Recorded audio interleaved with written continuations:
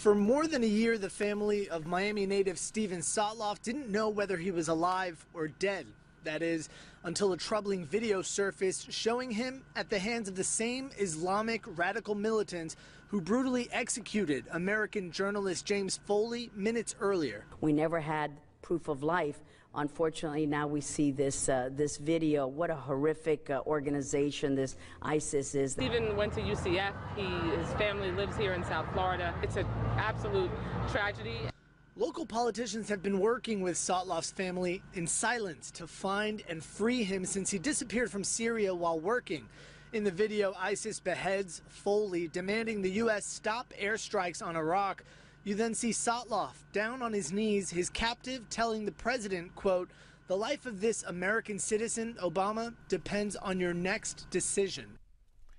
It is, of course, an act of cowardice the taking and holding of hostages for money, a cause, or just because someone wants to prove they can do it. This act of terrorism came home to America recently with the beheading of American journalist James Foley. Now there is a second American who may face the same fate at the hands of ISIS thugs and cowards. It is difficult to imagine what they have gone through until you ask someone who has been in those shoes before. Welcome back to Midpoint. Middle East analyst, blogger for Huffington Post, former prisoner of war, freedom fighter, award winning documentary filmmaker, Matthew VanDyke. Matthew, thanks so much for being here today. Thanks for having me on again, Ed. Matthew, I hate to be blunt up front, but you have been through this before. You have been a POW in the Middle East. You know what these people do, you know what they're capable of, you know how they act in private. Steven Sotloff is a 31 year old freelance journalist who right now is still captive. We are seeing his picture. The family is hearing about what may or may not happen. Do you think that Steven Sotloff will come home alive? I certainly hope so. I, am not going to give up faith that he'll come back home alive. I mean, he's a good friend of mine. We actually had dinner just a few weeks before he went to Syria. Uh, I have to keep hope. Knowing what you know about the terrorists and those people in the Middle East, what would be your best assumption and your best detailing of what is going on now and what they are doing and how they are doing it. Give us an idea. Uh, uh, they're holding him. He's probably fully aware of, of the situation and what his fate might be. You know, the question is why have they waited uh, a week now? U.S. airstrikes have continued. I'm not sure there could be negotiations going on behind the scenes or if they're planning this for some anniversary. Terrorists like to do events on anniversaries that have significance. So it's really a mystery right now why we haven't heard anything else from them. What is their thinking when it comes down to ransom? Because certainly America has said many times before, we will not deal in ransom. I'm going to follow that up, of course, with another situation that has happened recently. But let's talk about monetary here. They know it's not going to happen. So why do they continue to press the issue? Simply because they can? Well, ISIS has ransomed back European hostages for anywhere from three to five million dollars apiece generally.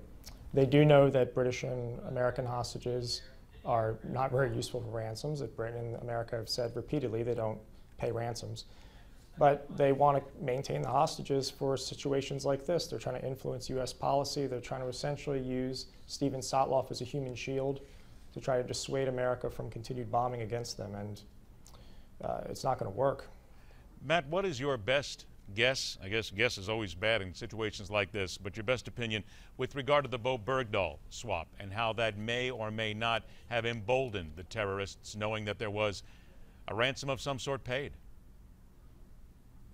Well, that certainly has emboldened them. They want to hold these hostages for prisoner exchanges. If one of their leaders is captured, they've also included in some of their demands the United States the release of other prisoners related to uh, the global war on terrorism it's certainly an asset that they want to keep. You know, you can just imagine if the U.S. were to sweep in and snatch one of their commanders, that they would probably be willing to trade Sotloff for another hostage for that man's release.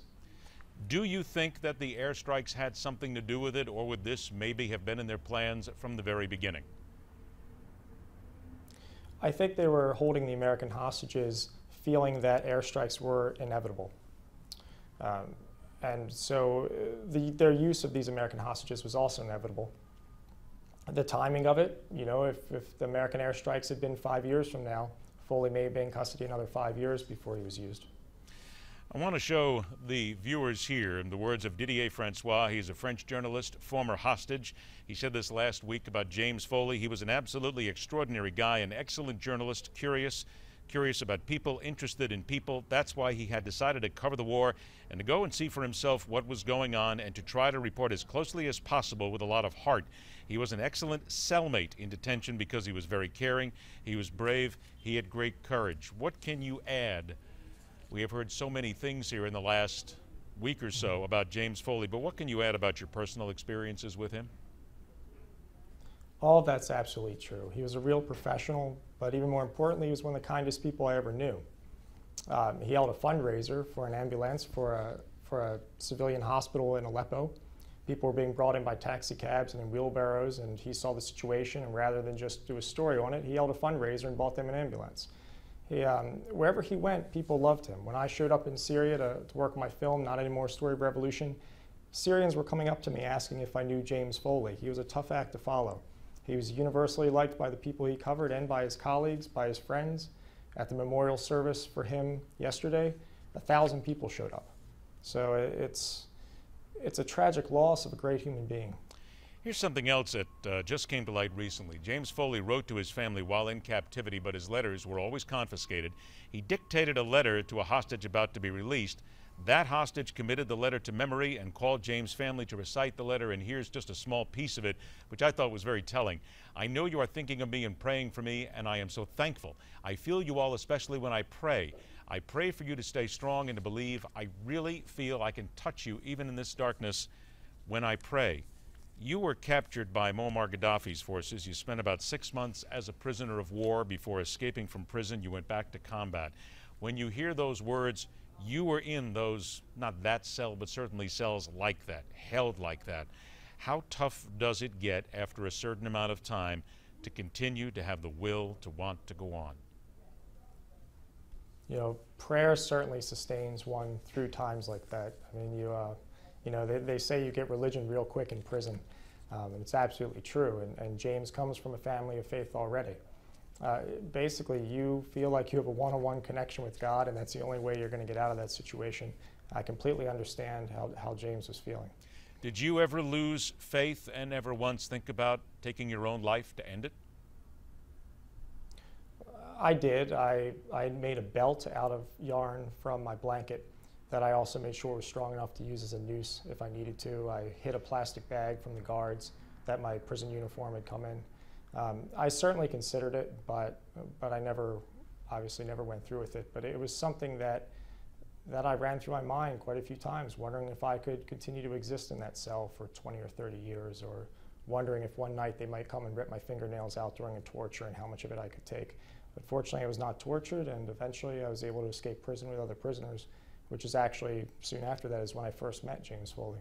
The other gentleman involved here, a 31 year old freelance journalist, Steven Sotloff. We've seen some pictures and heard about him as well. You knew Steven as well? Yes, like I said, we had dinner uh, just shortly before he left. We used to talk about Syria frequently, about security in Syria. He was also a very, very good journalist um, and a very nice person. You know, this is, this is part of the tragedy of this that something like this could happen to, to two guys that were just stand-up guys, great people.